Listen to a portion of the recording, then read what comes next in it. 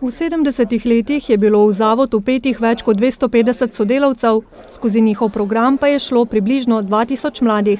Pomagali smo jim tako, da smo zmanjšali težave, ki so bile temna zarja njihove mladosti, jih opremili s poklicem za boljše življenje, kapo dol pred njimi mladimi, da so zdržali pot do cilja.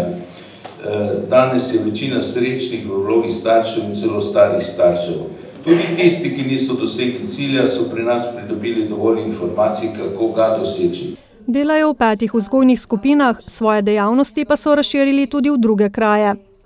Tako na primer od lani deluje stanovanjska skupina za mladostnike, ki še ne zmorejo bivanja v zavodu v Novem mestu.